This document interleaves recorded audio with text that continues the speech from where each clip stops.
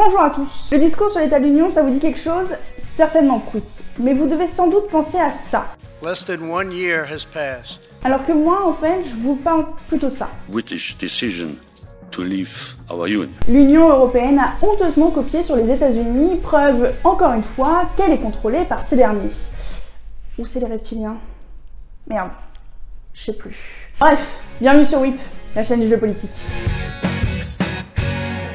Aux États-Unis, comme dans l'Union européenne, le discours sur l'état de l'Union est une allocution du représentant du pouvoir exécutif afin de présenter aux représentants du pouvoir législatif le cadre général de sa politique pour l'année à venir. Au niveau européen, c'est le président de la Commission qui prononce ce discours. Pourquoi? Parce que la Commission européenne est l'institution exerçant le pouvoir exécutif. Et le président de la Commission, il s'adresse directement aux députés européens, élus directement par les citoyens de l'Union européenne, et aussi qu'aux législateurs. Le discours sur l'état de l'Union est une pratique récente dans le fonctionnement institutionnel européen. C'est le traité de Lisbonne, le fameux Bonjour qui instaure cette allocution annuelle. Avant ça, le président de la Commission européenne de prononcer qu'un discours de politique générale au début de son mandat, soit tous les 5 ans. Une pratique similaire à ce que l'on peut retrouver en France avec le discours de politique générale du Premier ministre. C'est donc en 2010 qu'est prononcé pour la première fois le discours sur l'état de l'Union européenne et c'est José Manuel Barroso, président de la Commission de l'époque, qui aura l'honneur d'être le premier à se prêter à cet exercice.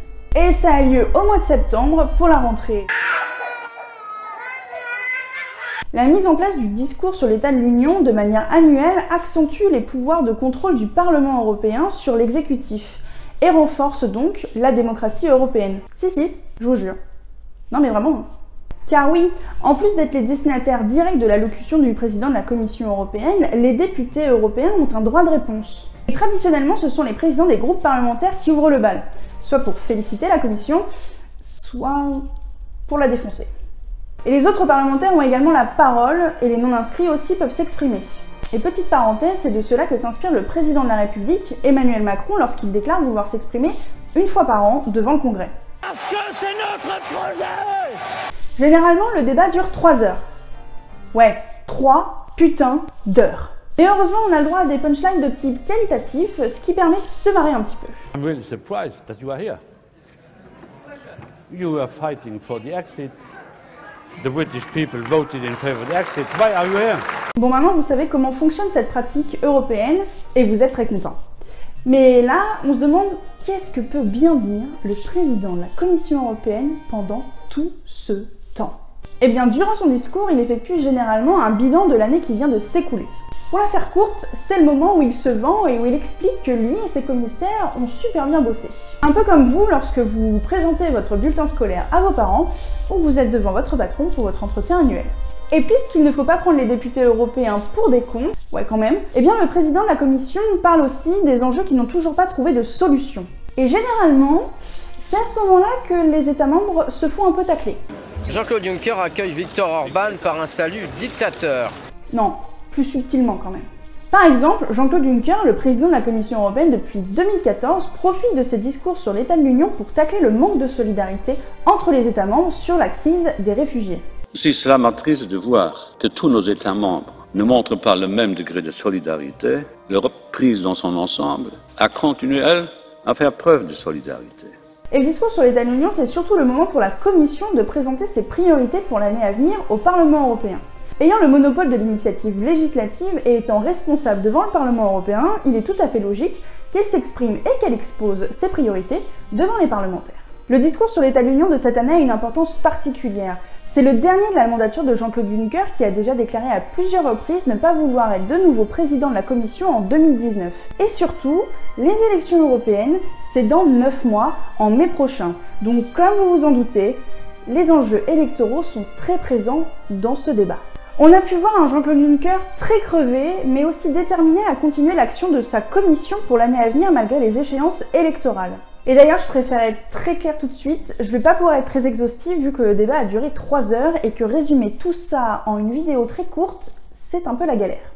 Il a donc abordé les dernières mesures de son mandat. Réduction de l'utilisation des plastiques, création d'une taxe sur les bénéfices des GAFAM dans les États où ils génèrent des profits, mais aussi lutte contre le blanchiment d'argent, la mise en place d'un nouveau partenariat avec l'Afrique, la création de davantage de gardes frontières européens et aussi la sécurisation du scrutin des élections européennes. Et j'en passe. Et l'ensemble de son discours a surtout porté sur un mot. Le monde d'aujourd'hui a besoin d'une Europe forte et unie. Oui, l'unité des 27.